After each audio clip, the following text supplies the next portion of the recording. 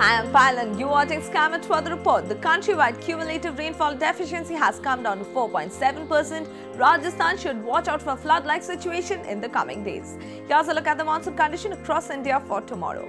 The western disturbance is still stationed over Jammu and Kashmir. It will bring moderate rainfall activity in the state but Himachal Pradesh and Uttarakhand will receive light rain only.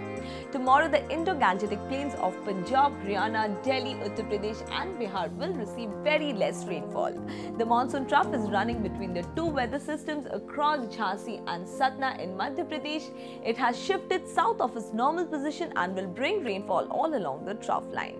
The cloud configuration and wind pattern suggest that the system over central Rajasthan will intensify into depression very soon. Southwest monsoon will remain vigorous in this part of the country. The system will continue to bring heavy showers in Rajasthan, West Madhya Pradesh and Gujarat. The depression lying over North Bay of Bengal and adjoining coastal areas of Orissa will bring heavy showers in coastal parts of West Bengal and Orissa.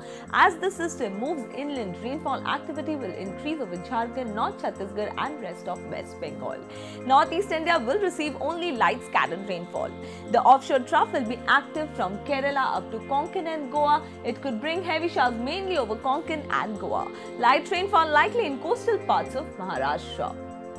Moving on to temperatures now, maximums will be way below normal in central India and Rajasthan, but day temperatures will be above normal at few places over interiors of peninsular India. Rest of the country will witness normal temperatures. That's it for now. For latest updates on weather and weather-related topics, you can visit our website skymetweather.com. You can also follow us on Facebook and Twitter.